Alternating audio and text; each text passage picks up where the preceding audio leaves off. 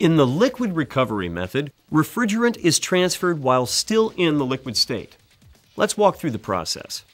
When you're ready to start, make sure the system you're servicing is turned off. Also check that the recovery machine selector knob is set to off and all valves on the manifold are closed.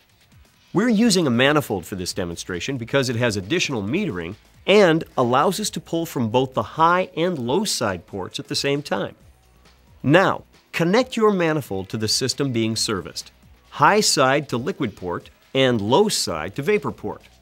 Now, connect a quarter inch utility hose of your manifold to the suction port of the recovery machine. Finally, connect a hose from the liquid side of the recovery cylinder to the discharge port. You'll want to be sure that the ends with the shutoffs are used at the suction and discharge ports. This is required by law.